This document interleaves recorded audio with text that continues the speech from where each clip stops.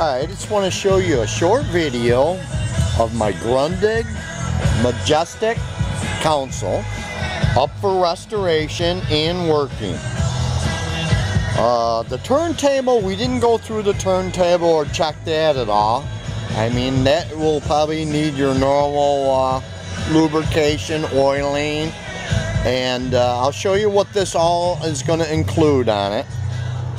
Uh, I'm going to show it to you a little bit. Now all the speakers do work in the unit. The side ones. And it's also going to include two side ones that ohms check fine. One of the center woofer ones that ohms checks. This one doesn't. So um, it also includes a uh, all static cartridge and stylus that you're going to get. You're going to get the original manual. Now this part of the manual, the cover, doesn't look in the best shape, but inside is all your schematics, the manual, the turntable manual and everything seems to be in good shape on the inside, which is nice to have the schematics. You're going to receive that. Um, I'm going to show you the unit in operation. the door opens up here nice. Now it has the magic eye on it. Um, they, you can see that working there.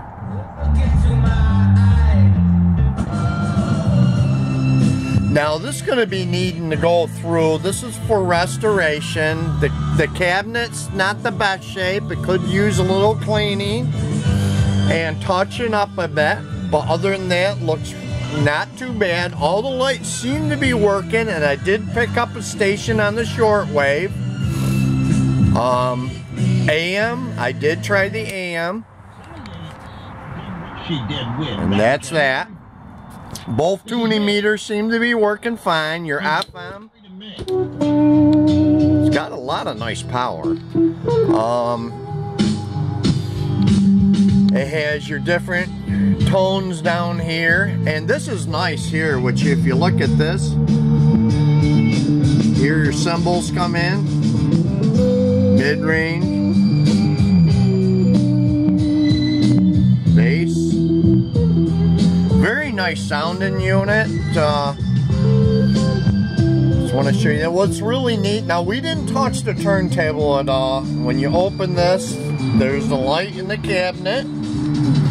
That's on. There's your turntable. It still has its original little cardboard. It's, it, it's dirty, but the paint looks in good shape. So you can actually restore that. Seems to have its 45 adapter, the little light up top. I'll show you that. I'm going to show you the back of the unit. your front door. And it has the door for your, you know, your LPs or whatever else you want to put in there It has its label up front. Definitely restorable piece, you know. It has uh, its four legs. Now this is going to be a pickup only. Uh, all German made. Just want to show it to you a little bit here. Now I removed the back here, the two, the, the back. I just want to show you the chassis. This is the back. It has its original decal on it. Sounds really decent. Uh, everything seems to be operating as it should. You know, it's going to need restoring. So just so you know, um, going to need a little cleaning.